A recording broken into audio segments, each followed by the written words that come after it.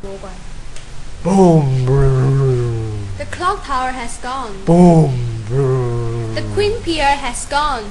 cried No, the no, protesters. No, no, no. Last year, there were so many heritage which has been damaged by the government, such as Queen Pier and the Clock Tower. Even communities say no to the government, and even went hunger strikes for a few days and organized them. People say that Kong is a desert of culture. Is it true? Is it necessary for us to keep the heritage for our own culture?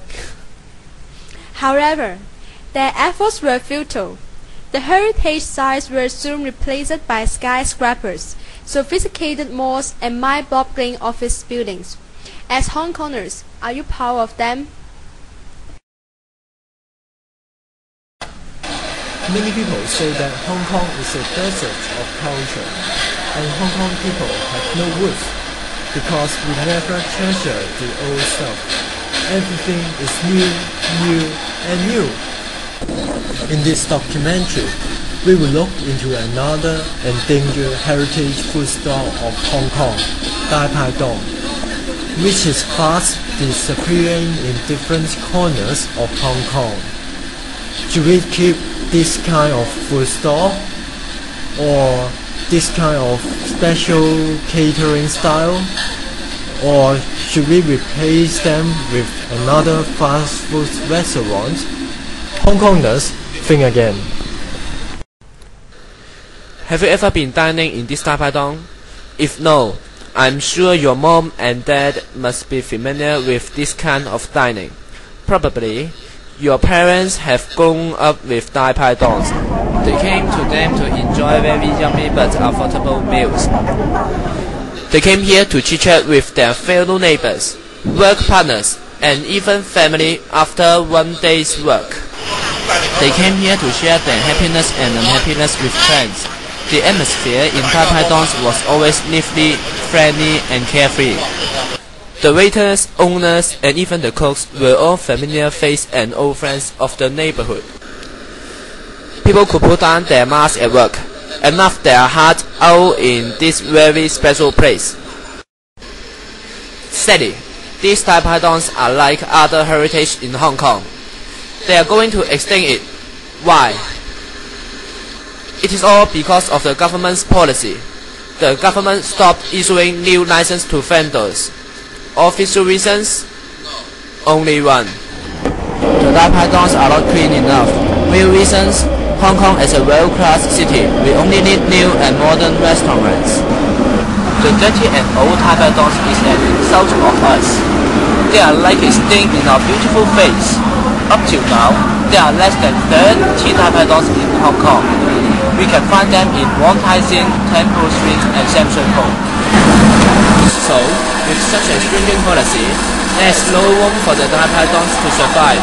All this will soon be gone in a few years' time. Do you feel sad? Or are you on the side of the government? Okay, let's ask some owners and patrons of Dai Pai Dongs.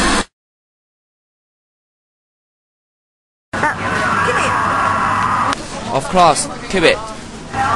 Yes, we should keep it. Yes, keep it.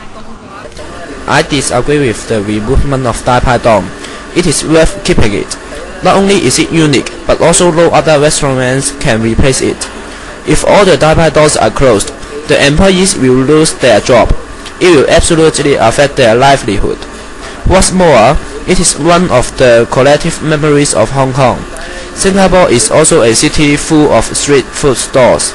Isn't Singapore a world-class city? You may have dined in many five-star hotels. You may have been to tons of restaurants. You may have tried mooncakes.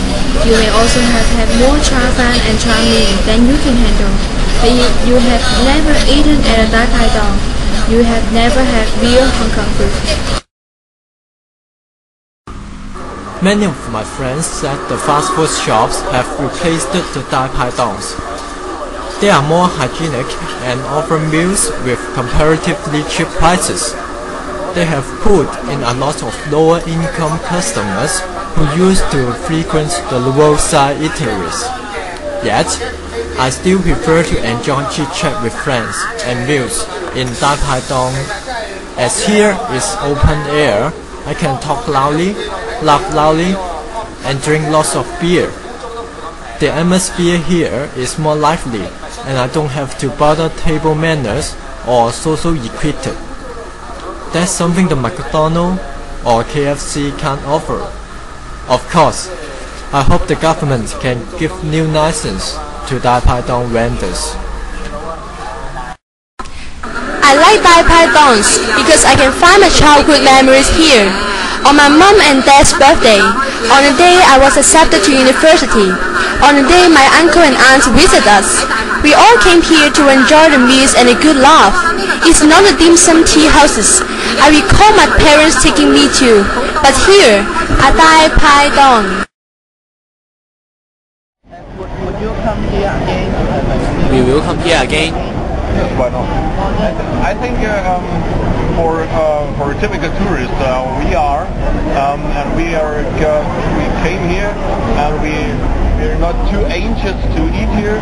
Um, it, it's a it's a really good impression for us how the uh, local people um, are trained to eat.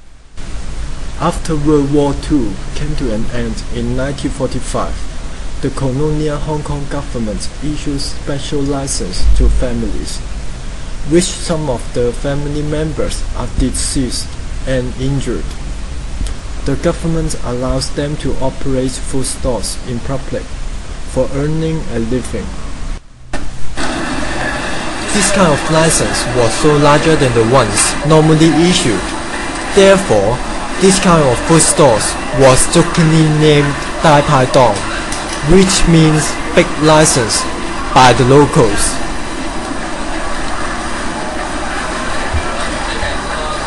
The characteristic of Dai Pai Dongs are its green-roofed steel kitchen and tidy atmosphere with the air conditioning, as well as a variety of no-price great hei dishes. It provides cheap everyday food such as congee, rice and noodles to the general public of humble income.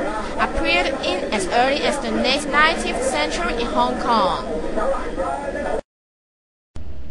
After listening to the patrons and vendors of the Dai Pai Dong, we have a clear picture that most of us would like to keep the Dai Pai Dongs. We have already taken this kind of eateries as a part of our local culture, a kind of local flavor and part of collective memories of many Hong Kongers. To many Hong Kongers, Dai Pai Dong is a place to socialize. The patrons are free to talk loudly. Whether everybody can hear others remains a question. In the lively Dai Pai Dongs, you don't have to bother table manners and social etiquette. The open air atmosphere simply allows you to enjoy a hearty meal and a hearty laugh.